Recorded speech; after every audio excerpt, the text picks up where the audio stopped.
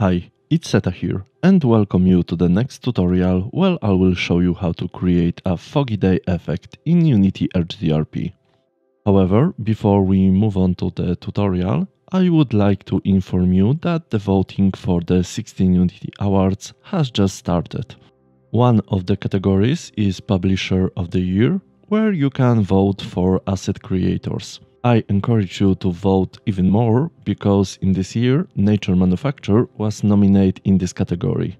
As you probably know very well, in my videos I most often use their assets and personally I think they deserve to vote for them because thanks to this we can appreciate the hundreds of hours of work they put into preparing these models that many of you probably use. Of course, each of you can vote for other creators, but you already know who I voted for. The link to vote you can find in the description. And now, let's get into the tutorial. First, let's see what a foggy day looks like in reality and what we should pay attention when we try to recreate such a lighting. On foggy day, the sunlight is scattered, which make the shadows very faint and often even invisible. Colors are muted and lack vibrancy, giving the landscape a grayish appearance. Fog often occurs in calm or lightly windy conditions. The color temperature of the light shifts toward cooler tones. Shades of gray, blue, and silver tones dominate. The sun, if visible, appears as a blurred bright spot in the sky, often surrounded by slight halo. Visibility during fog is reduced. Depending on the density of the fog, visibility can range from a few meters to several hundred meters. Fog might not be uniform everywhere, forming small clouds, and in the area where the fog is thinner, visibility slightly improves, adding some more depth to the scene. Clouds have different densities, so one moment something is visible and next to it disappears as the fog becomes thicker. Now, when we know what to focus on, let's try to replicate this in Unity. In this tutorial, I will be using Unity 2022 and the demo scene from the forest environment, but the setting will work with any others asset as well. First, let's add a new global volume to our scene. So right click, volume, global volume. Now we create a new profile and add override visual environment. Let's select all and we want to use physically based sky. Now we need to add override sky physically based sky and now we will want to change our ground tint because its color affect the colors of the scene.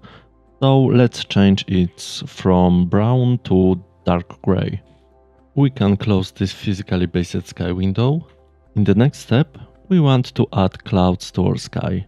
I will use a cloud layer for this because it do not affected the performance too much, but if you want, you can use volumetric clouds. So let's select cloud layer and add another override sky cloud layer.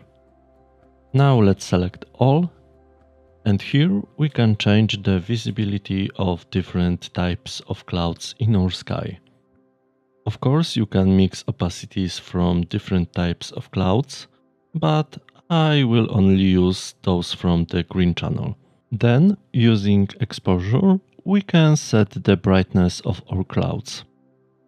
Now we need to change our sun settings, so let's move on to the directional light and let's change its rotation to better match to our scene. Then we will change the size of our solar disk and I will set it to 0 because I don't want it to be visible but you can adjust it as you want. Now let's check if the color is set to white in the emission filter. And let's set our temperature to 8000 Kelvin because we want to get a little cooler lighting. Let's also reduce our intensity because since the sun is behind the clouds, it will not give as much light. Let's go to the shadow settings and let's turn it on. And then we can set the resolution to low or mid to the fact that we want to obtain soft shadows, so the shadow map doesn't have to a high resolution. Using dimmer we can control the intensity of the shadow, so by reducing this value we will get brighter shadows. But we want to blur them. So first let's go to edit project settings, quality, HDRP, and then find the shadow filtering quality options. There, let's set it to high. And yes, these settings does affect performance, but thanks to it, we have more control to our shadows. Now our shadows have some additional options. If you don't see them, click on these three dots and check if the show additional property is checked. So if any options is not visible in your settings, always check if this option is enabled. Using minimal blur intensity, we can control the sharpness of shadow edges. The higher the value, the softer the shadows will be. So let's set it to 1 here to increase this shadow blur. We can even more blur our shadows using angular diameter scale, which is related to our angular diameter so if we increase this value here and then change the value in the angular diameter scale, we can increase the blurring of the shadow even more. The higher the value, the blurrier the shadow will be. Now we need to add volumetric fog to our scene, so go to Global Volume, add Override, Fog, let's select All, let's enable this fog, and select volumetric fog enable. Using maximum height, we can set the upper limit to which our fog will be generated. Using base height, we can determine the height at which the fog density begins. Thanks to this, we can control how the fog is distributed vertically on the scene, which affect how thick the fog will be at different heights. Fog diameter determines the density of the fog, and thanks to it we can control how far the surrounding will be visible. For different scenes this value will be different and it depends only up to you what effect you want to get. Max fog distance determines how far the fog should be rendered and this value should always be greater than our camera far clipping plane. Due to the fact that it's a quite closed scene, I will reduce this value to 1000 meters. Next, we can determine at what distance our fog will be volumetric, so I will increase this value a bit. Anisotropy affect the way light scatters through fog. The value of 0 make fog scatter light evenly in all directions, but we want to get an effect when the light is more condensed around the sun, so we need to increase this value. Now we need to change a few things in the directional light, so let's click on them. First, we want to make the light that only passes through fog a little brighter, so let's increase the intensity multiplier. To obtain the effect of fog wrapping objects, let's reduce this shadow dimmer value to something around 0.1. Now we can again adjust the size of the sun disk to get the effect that we want to achieve. Next, let's move on again to the shadow map and let's enable contact shadow. Go to the global volume and add override, shadowing, contact shadow. Let's enable all, enable state and let's decrease a little opacity because we don't want to the contact shadow to be too strong. We will also use micro shadow to add shadow to the terrain based on the normal maps. So let's enable this and let's decrease opacity to around 0.5. Before we go to the color correction, let's first add a reflection probe to our scene and then let's bake it. As you see, our scene has changed a little. I will also use screen space global illumination to simulate the effect of global illumination in real time. So after enable it in the project setting, let's add override, screen space global illumination and enable. As you can see, after using Reflection Probe and SSGI, our scene looks completely different now.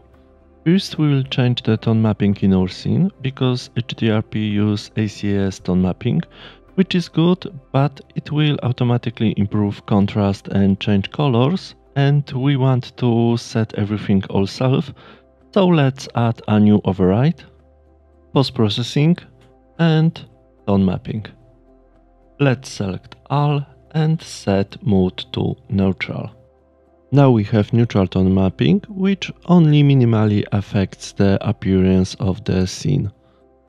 So let's add a new override, post-processing and color adjustments. Let's select all and let's increase this contrast like this and let's decrease the saturation. Now we will want to recover some of the details in the shadow so add new override, post-processing and shadow midtone highlights. Let's enable shadows and let's increase this a little bit. Now let's add a new override, lightning, indirect lightning controller and let's select all and set indirect diffuse to 4 and this makes the details more visible. Now we want to correct exposure, so add new override, exposure, select all and set fixed exposure to adjust the scene brightness. Then let's go back to our reflection probe and set the multiplier to 2. Of course, using the options shown in this chapter, you can customize the scene as you like. To diversify the appearance of the scene, we will now add fog clouds to it. We will use volumetric samples for this and to install them, let's go to the window. Then let's select Package Manager, Unity Registry, and find High Definition Render Pipeline and select Samples. Now find volumetric samples and import them. After import you got a new folder, so go to the volumetric samples, prefab, and find cloud sample. And then put them on the scene. Now in the volume, you can change the size of this local volume fog. Let's increase this to 50. And then in the fog distance, you can increase or decrease the density of the fog. Let's go to the mask material and change here a few things. First, let's increase the mine noise stealing and then let's decrease the contrast of this fog. Like this. I will now turn on the always refresh on my scene to better demonstrate the next options. And now in the animation tab, we can change the direction of the fog and its speed. As before, it's up to you what the final effect will look like. I encourage you to play around with those options because they can help you achieve some really interesting effects. And that's all for this tutorial. I hope it was useful for you and if you have any questions, just write them in the comments. Remember to vote in the Unity Awards and till the next time. See ya.